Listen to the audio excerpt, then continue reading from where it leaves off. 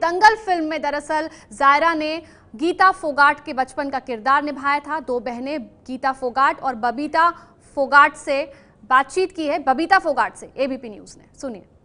जब मैं सुबह सुबह उठी तो मैंने एक बहुत ही दिल को दुखाने वाली घटना के बारे में पढ़ा। पता चला कि दंगल फ़िल्म में फोगाट बहनों का किरदार निभाने वाली जायरा वसीम के साथ फ़्लाइट में किसी दरिंदे ने।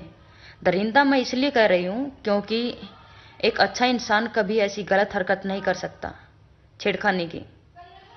मैं कहना चाहूँगी कि समाज किस तरफ़ बढ़ रहा है, ऐसे लोगों को एक्सपोज करें। और मैं लड़कियों को भी कहना चाहूँगी कि सतर्क रहें और मज़बूत बने। अगर कोई आपके साथ गलत हरकत करता है तो आप सीधे उनके मुँह पे थप्पड़ लगाइए। सामने वाला दोबारा ऐसी गलती करने की हरकत नहीं कर सकता।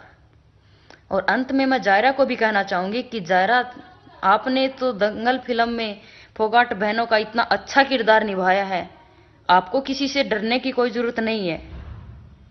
और आप रियल लाइफ में भी धाकड़ बनो। तो बबीता फोगाट को आपने सुना जो ये कह रही है कि जायरा को किसी से डरने की ज़रूरत नहीं है जिसने भी उनके साथ छेड़खानी की है उस शख्स को एक्सपोज किया जाए। ये है एबीपी न्यूज़ आपको रखे आगे।